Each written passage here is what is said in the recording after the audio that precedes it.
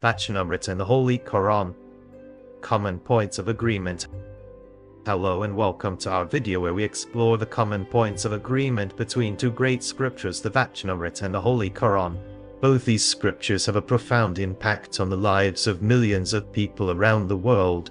In this video, we will examine the similarities between these two great texts and how they both teach us to lead a righteous and fulfilling life.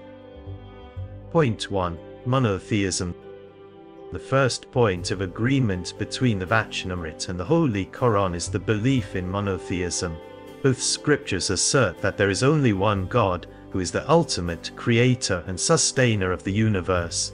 The Vachanamrut states that the Supreme Being is one without a second while the Holy Quran declares, say, He is Allah, the one and only. Point 2. Importance of prayer.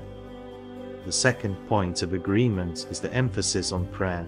Both the Vachanamrut and the Holy Quran advocate for the importance of prayer as a means to connect with the divine. The Vachanamrut teaches that prayer is the means to purify the heart while the Holy Quran states, and establish regular prayer, for prayer restrains from shameful and unjust deeds. Point 3. Compassion and Charity the third point of agreement is the importance of compassion and charity. Both the Vachanamrut and the Holy Quran teach that one should be kind and charitable towards others. The Vachanamrut emphasizes that a true devotee of God is one who has love for all while the Holy Quran says, and spend in charity out of the sustenance which we have bestowed on you before that time when death will come to someone, and he shall say, O my Lord, if only you would grant me reprieve for a little while, then I would give in charity and be among the righteous. Point 4. Forgiveness.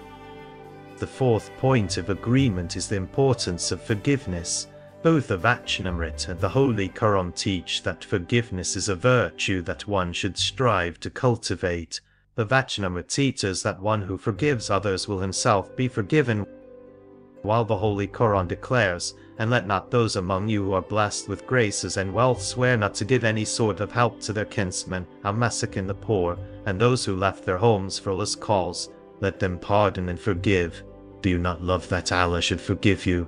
And Allah is oft forgiving, most merciful. In conclusion, we have examined the common points of agreement between the Vachanamruts and the Holy Quran.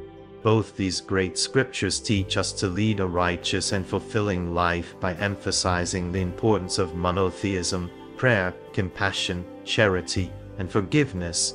By understanding and practicing the teachings of these texts, we can strive towards a life of virtue and righteousness. Thank you for watching this video, and we hope you found it informative and insightful.